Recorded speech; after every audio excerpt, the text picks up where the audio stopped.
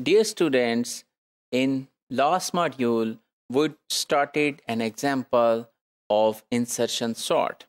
And in today's module, we will try to complete that example by going into the details of each and every step that how that list is going to be sorted. So remember, we had these five names Fred, Alex, Diana, Byron, and Carol.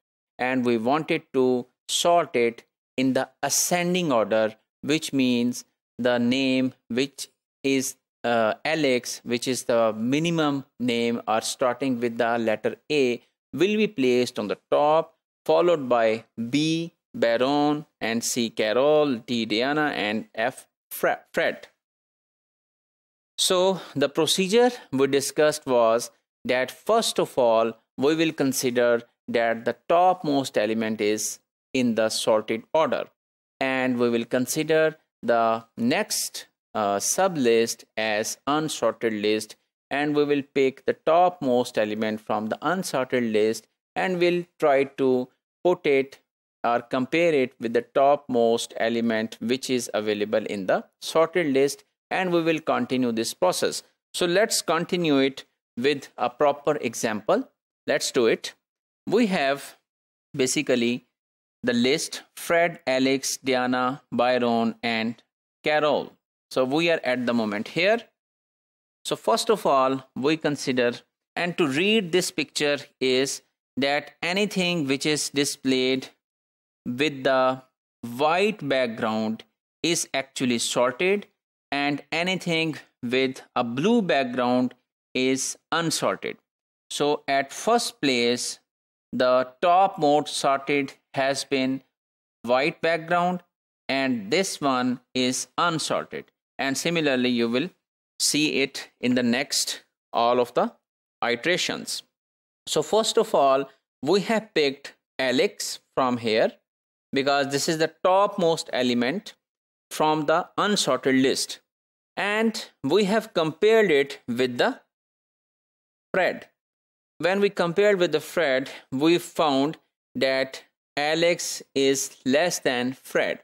Actually, how it is done at the backend side is based on the ASCII codes which we learned in the initial modules. The ASCII code of Alex are compared with the ASCII codes of Fred. So this process goes in the following direction that the ASCII code of A is first compared with the ASCII code of F. So ASCII code of A is 65 and the ASCII code of F is of course greater than 65.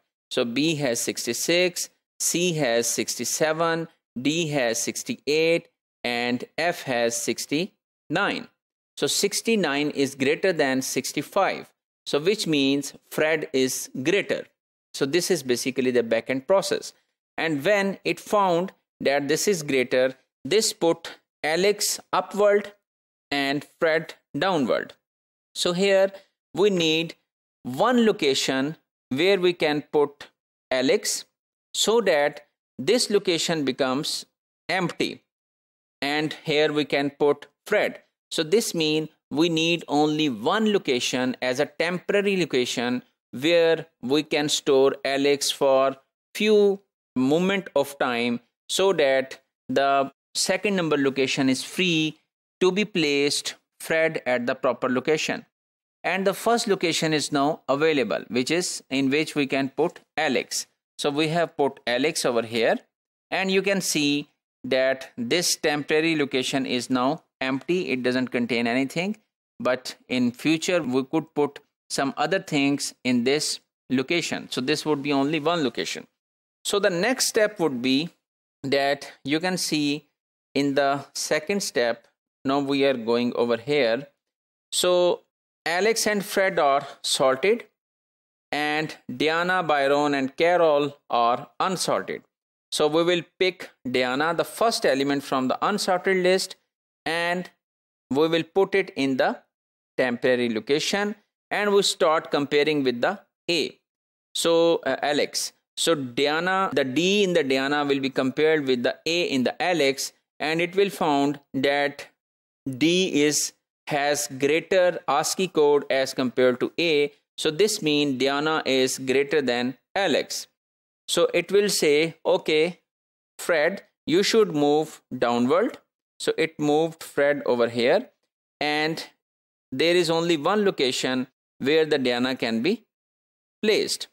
So after the conclusion of second step, Alex, Diana and Fred are actually sorted and the list in the blue background here, Byron and Carol is unsorted at the moment. So then the third step is we are have Alex, Diana and Fred as assaulted and Byron, Carol as unsorted. So we are picking Baron from here and then we are putting their dead Baron in the temporary location and then we start comparing with the Alex. So when we compared it with the Alex, we found that the Baron is greater than Alex. So this means we need a location over here. So we inserted this over here by moving all of the elements downward. So Fred is going downward, Diana is going downward and we have the empty location over here where we will put Baron.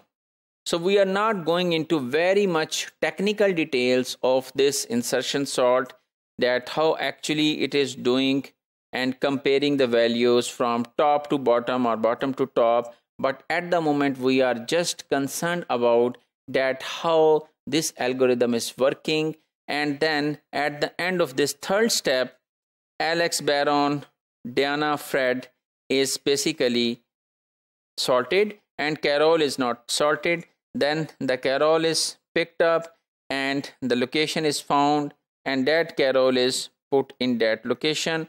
And after the execution of this fourth step all of the list is already sorted in a proper order. So if we conclude today's topic we have learned a practical example of insertion sort and uh, we have applied the philosophy which we learned in the previous module that how actually the insertion sort is working and how it is helping us to sort the elements properly.